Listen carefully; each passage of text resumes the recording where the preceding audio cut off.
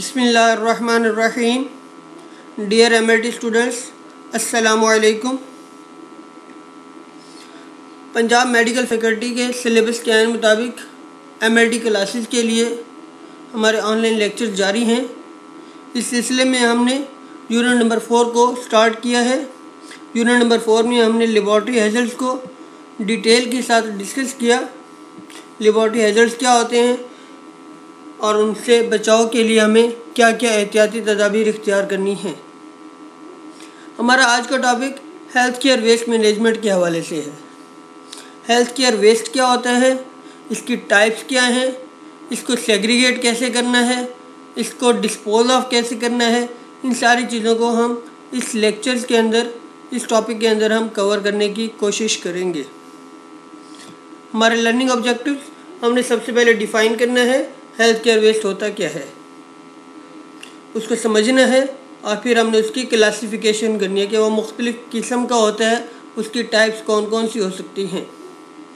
दूसरे नंबर पर हम हेल्थ केयर वेस्ट से मुतक रिस्क के बारे में पढ़ेंगे कि उससे एसोसिएटेड रिस्क कौन से हैं और उनसे बचाव के लिए हमें क्या इकदाम करने हैं कौन कौन लोग हैं जो इससे मुतासर हो सकते हैं।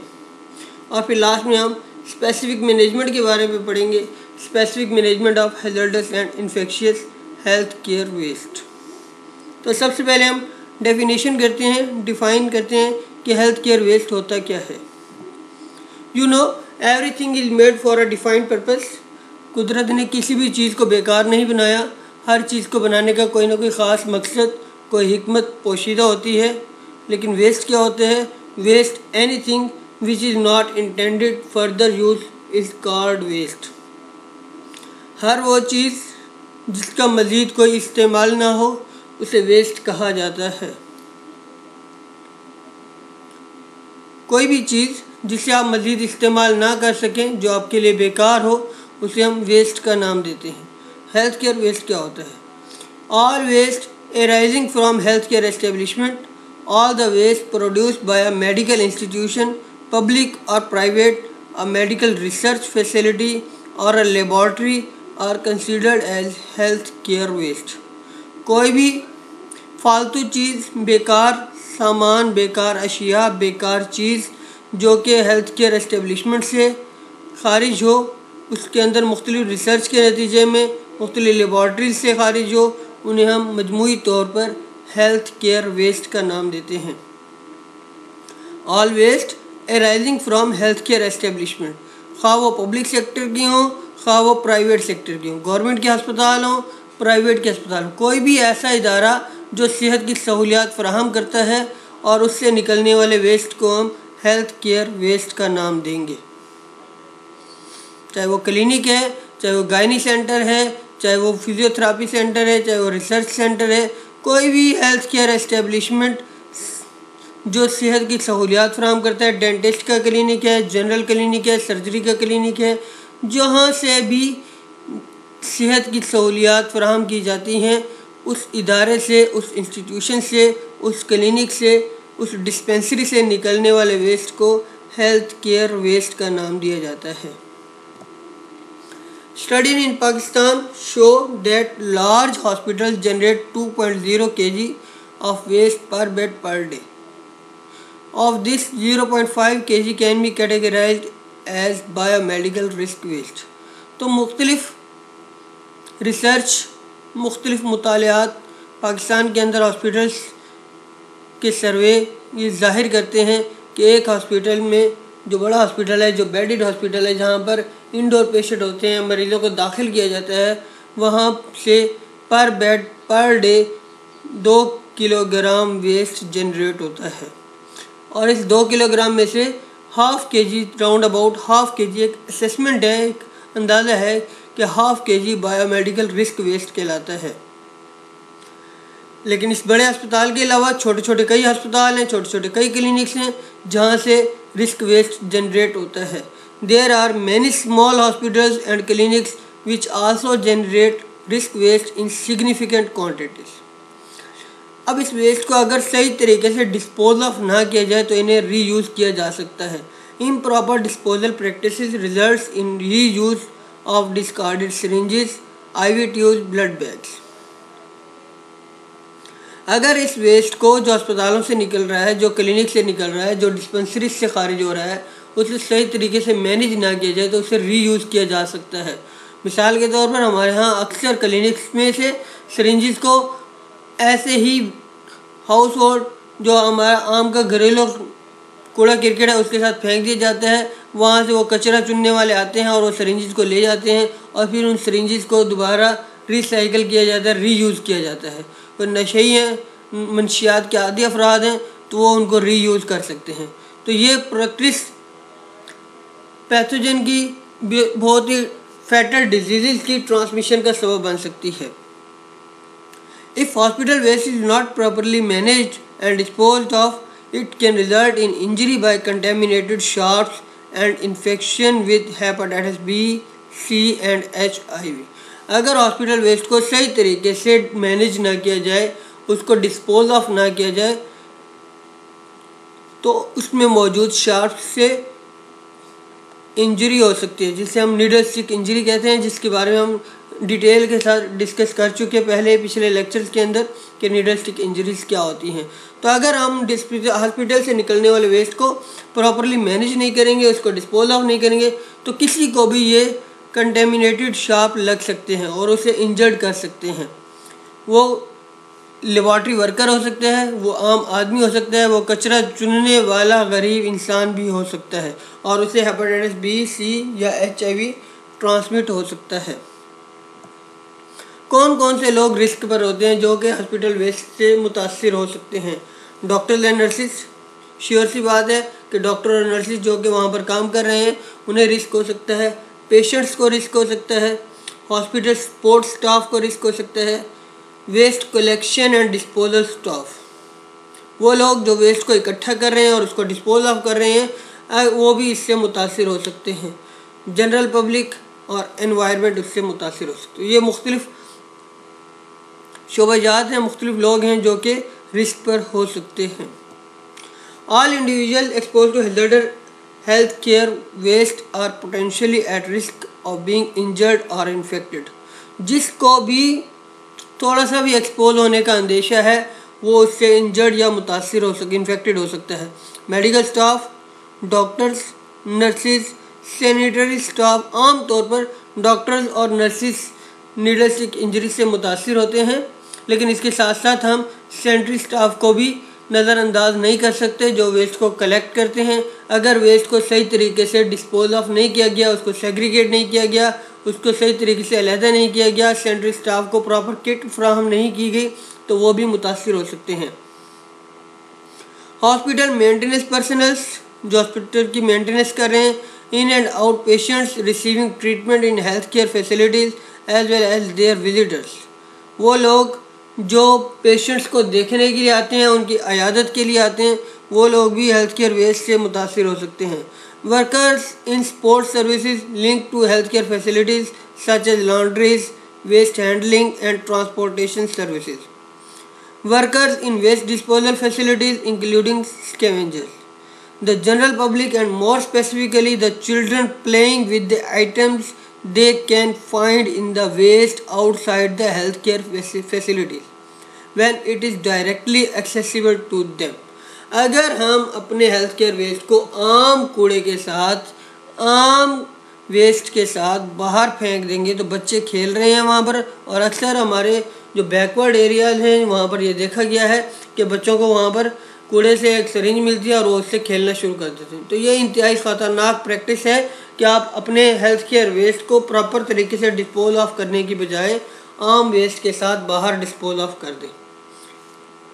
और फिर वहाँ से वो बच्चों के हाथ लग जाए और बच्चे उससे खेलना शुरू कर दें तो बच्चों को इन्फेक्ट हो सकते हैं। तो बच्चे स्पेसिफिकली इससे रिस्क पर होते हैं। क्लासिफिकेशन क्या होती है? हॉस्पिटल वेस्ट की तो डब्ल्यू एच ओ ने वेस्ट को दो हिस्सों में कैटेगराइज कर दिया। एक नॉन हेजल्डस वेस्ट कहलाता है और दूसरा हेजल्डस वेस्ट कहलाता है। नॉन हेजल्डस वेस्ट में जनरल वेस्ट आते हैं, जो कि आम तौर पर इंसानी सेहत के लिए नुकसानदेह नहीं होता। इंसानी सेहत को उस वेस्ट से ख़तरा रिस्क लाक नहीं होता। मसलन ऑफ़िस पेपर हैं रैपर्स हैं किचन वेस्ट है जनरल स्वीपिंग एट्सट्रा तो ये मुख्तलिफ़ वेस्ट जो आम तौर पर हमारे सामने आते हैं, मुख्तलिफ़ पैकेजिंग है, मुख्तलिफ़ रीजन्स हमारे पास पैक होकर आते हैं तो उनका जो कार्डबोर्ड है, मुख्तलिफ़ पेपर वर्क इस्तेमाल होते हैं पेपर होते हैं, वो तो ये सारे का सारा वेस्ट जनरल वेस्ट कहलाता है। इससे आम तौर पर इंसानी सेहत को कोई रिस्क नहीं होता। लेकिन जहाँ तक बात हैजर्डस वेस्ट की है, जो कि इंतई ख़तरनाक है, उसको आगे हम मज़ीद कैटेगराइज कर सकते हैं। उनमें पैथोलॉजिकल वेस्ट है sharps infectious waste chemical waste radioactive waste तो इनको हम एक एक करके डिटेल के साथ आगे डिस्कस करेंगे कि ये होते क्या हैं। तो सबसे पहले हम हेजल्डस वेस्ट में पैथोलॉजिकल वेस्ट की बात करते हैं।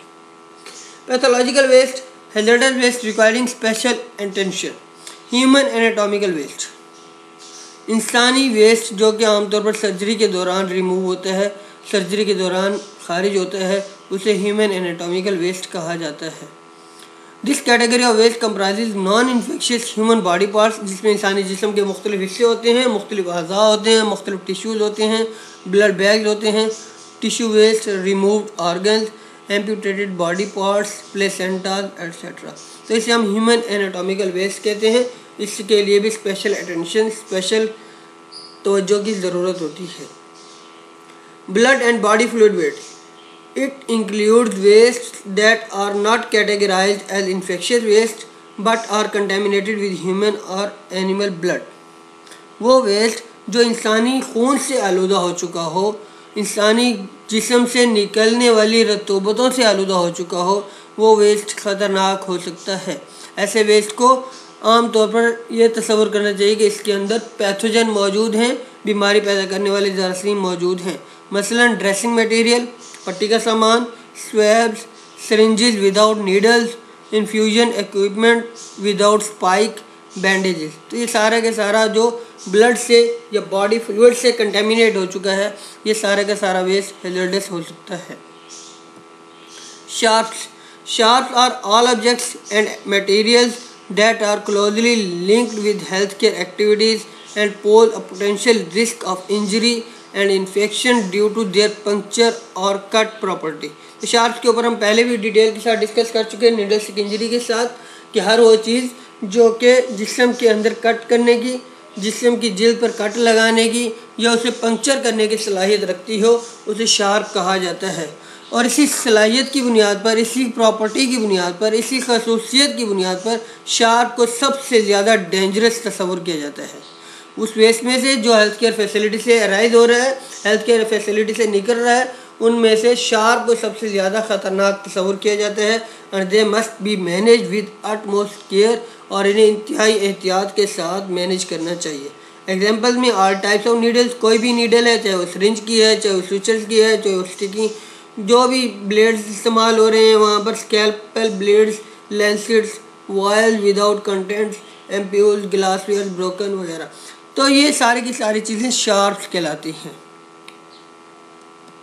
Infectious and highly infectious fluid waste तो वेस्ट जो कि पैथोजन से रिलेटेड है उससे हम इन्फेक्शियस वेस्ट कहते हैं और इनको हम दो हिस्सों में कैटेगराइज कर देते हैं, एक इन्फेक्शियस वेस्ट और दूसरा हाईली इन्फेक्शियस वेस्ट लेकिन इनको मैनेज करने के लिए भी स्पेशल रिक्वायरमेंट की ज़रूरत होती है।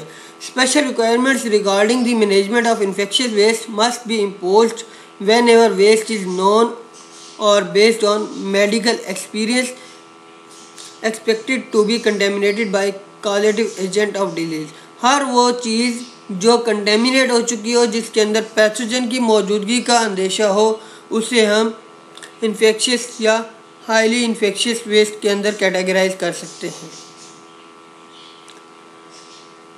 When this contamination gives cause for concern that the disease may spread और जब हम इस कंटेमिनेटेड जो पैथोजन से आलूदा सामान है वेस्ट है, उसको हम कंटेक्ट में आते हैं तो डिज़ीज़ की बीमारी के फैलाव के इम्कान बहुत ही ज़्यादा बढ़ जाते हैं। In this category two groups can be considered depending on the degree of infectiousness that is expected तो इस इन्फेक्शियस वेस्ट को हम दो हिस्सों में कैटेगराइज कर सकते हैं, जो कि इन्फेक्शियस और हाईली इन्फेक्शियस थोड़ा इन्फेक्शियस और बहुत ही ज़्यादा इन्फेक्शियस तो इसकी इसका डिपेंड पैथोजन पर होता है कि वो किस चीज़ से आलूदा है। इन्फेक्शन वेस्ट कहलाता है।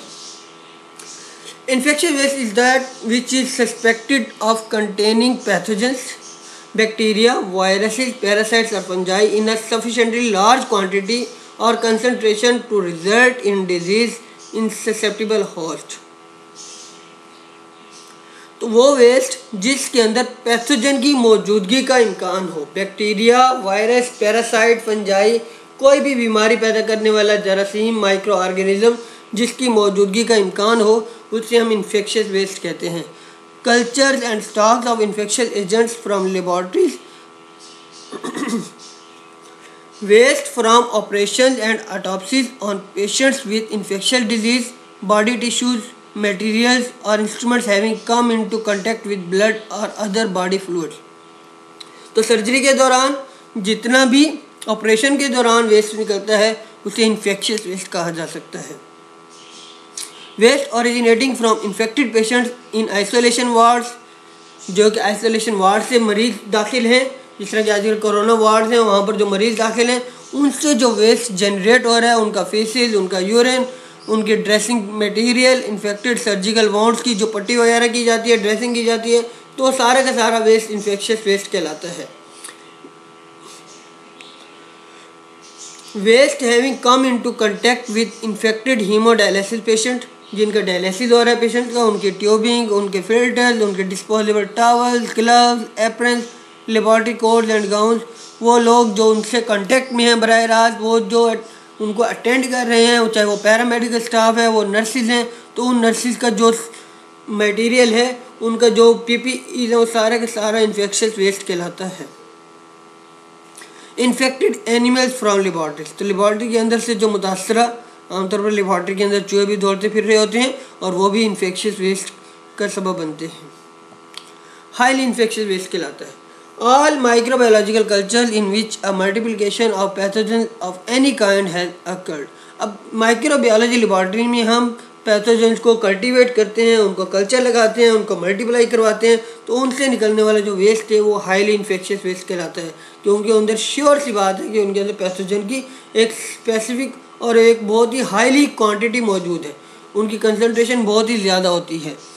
They are generated in institute working in the field of hygiene microbiology and virology as well as in the medical laboratories medical practice and similar establishment laboratory waste culture and stocks with any viable biological agent artificially cultivated to elevated numbers, including dishes and devices used to transfer, inoculate and mix cultures of infectious agents and infected animals from laboratories.